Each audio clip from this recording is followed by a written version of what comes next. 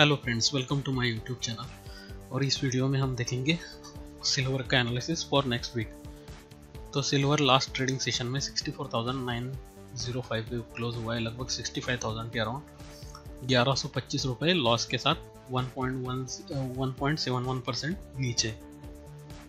तो यहाँ हमने अच्छी खासी प्रॉफिट बुकिंग आते देखी हमने रिकॉर्ड हाई भी देखे थे और करंट लेवल पे ऊपर से अच्छी खासी प्रॉफिट भी बुकिंग देखिए तो यहाँ शुरू करते हैं एनालिसिस मंथली चार्ट से।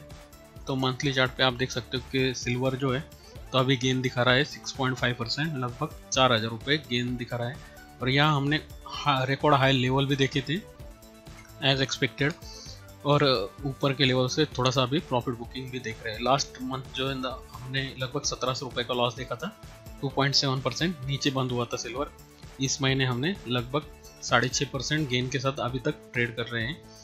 और अभी इस महीने के लिए सिर्फ़ एक ही दिन बचा है सोमवार का तो उसके बाद में हमें पता चल जाएगा कि सिल्वर जो है तो कितने गेन के साथ बंद हो जाता है इस महीने के लिए। अभी वीकली चार्ट देखते हैं तो वीकली चार्ट पे यह फ्रेश बाय सिग्नल दिखाई दे रहा है, मगर यहाँ दिक्कत की ये बात है कि ऊपर के लेवल पे जो रेजिस्टेंस है, उसको क्रॉस नहीं कर पाया है क्लोजिंग बेसिस पे। तो यहाँ से रिवर्सल भी आ सकता है और ये फॉल्स ब्रेकआउट भी बन सकता है। तो यहाँ आपको ध्यान रखना है कि 66,500 के ऊपर ही अगर वीकली क्लोजिंग देता है सिल्वर तो ही हम देख सकते हैं कि ऊपर के लेवल आएँगे। तब तक ये जो सिग्नल है ये सिर्फ़ बाउंस बैक माना जाएगा और फिर से मार्केट जो है तो रिवर्सल दे सकता है और नीचे के लेवल दिखा सकता है। तो यह इंटरेस्टिंग होगा देखना। जो मैंने कहा था कि बाय ऑन डिप्स रखिए और 66,500 का हमारा टारगेट था वो तो टारगेट अचीव हो चुका है। उसके बाद में हमने लगभग 68,100 तक हाई देखा था। तो वो तो बोनस था जिन्होंने भी लॉन्ग पोजीशन ली होगी नीचे के लेवल पे। अभी यहाँ जो है तो नीचे सपोर्ट बहुत ही दूर है। तो सपोर्ट जो है दिख रहे हैं मुझे वीकली चार्ट पे वो है लगभग 63,500 से लेकर 63,100 तक। तो लगभग करंट लेवल से डेढ़ से दो हज़ार पॉइंट नीचे सपोर्ट है। एज पर वीकली चार्ट तो उन लेवल पे आता है तो आप स्टॉप लॉस के साथ लॉन्ग जा सकते हो। क्योंकि फिर से मुझे लगता है कि सिल्वर कोशिश कर सकता है। जो रेजिस्टेंस है उसे तोड़ने की। मगर आपको अगर ये स्विंग ट्रेड लेना है तो आपको स्टॉप लॉस के साथ ही लेना पड़ेगा।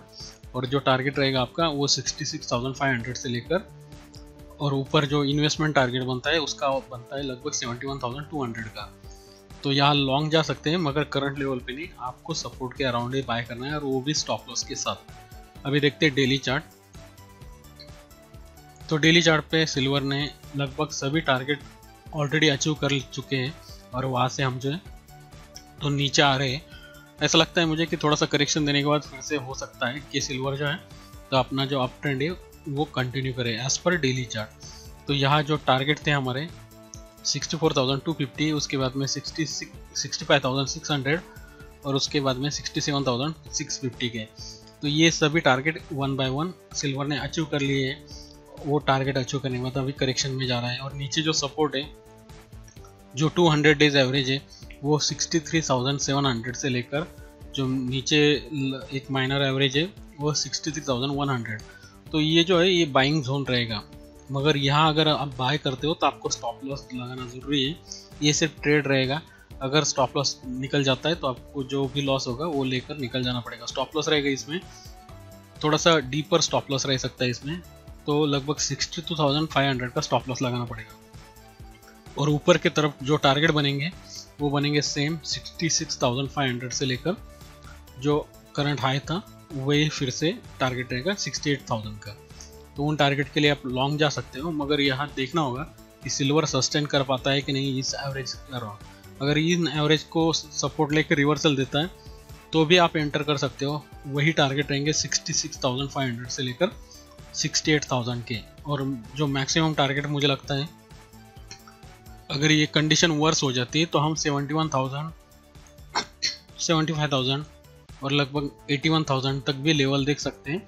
मगर ये जो वॉर की सिचुएशन है ये अगर सिचुएशन वर्स हो गई तो वहाँ अगर रिस्क बढ़ गया ज़्यादा तो हम बुलियंस और गोल्ड और सिल्वर में दोनों में अच्छी खासी रैली आते हुए देख सकते हैं। फ़िलहाल तो वैसा ही लग रहा है कि वो रैली कंटिन्यू होगी मगर कह नहीं सकते क्योंकि वीकली चार्ट पे जो रिजेक्शन आया है वो कभी कभी दो चार हफ़्ते चलता है। तो उसमें जो है तो बहुत नीचे के भी लेवल आ सकते हैं। वहाँ से रिवर रिवर्सल भी उतना ही स्ट्रॉन्ग आएगा, मगर ऊपर जाने से पहले नीचे के बहुत डीपर लेवल भी मार्केट दिखा सकता है।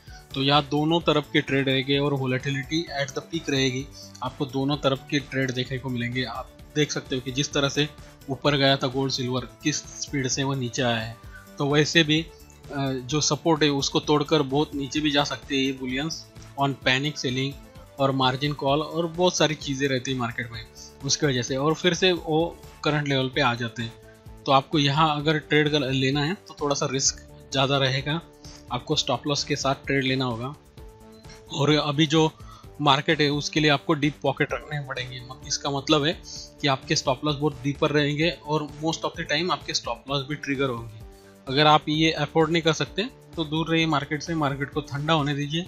बाद में जो है तो एंट्री ले सकते हो या फिर जो है तो फ़िज़िकल सिल्वर या गोल्ड में जो है तो थोड़ा थोड़ा अगर डीपर लेवल मिलते हैं तो वहाँ आप फ़िज़िकल इन्वेस्टमेंट कर सकते हो। बाकी ट्रेडिंग जो है फ्यूचर में तो उसमें थोड़ी सी रिस्क रहेगी, क्योंकि ये सभी बुलियन जो है तो न्यूज़ फ्लो पे रिएक्ट करेंगे और उस तरह से आप जो है तो इंट्राडे में या फिर पोजिशनल मूवमेंट आते हुए देखेंगे बुलियंस में। तो थोड़ा सा रिस्की रह सकता है मामला।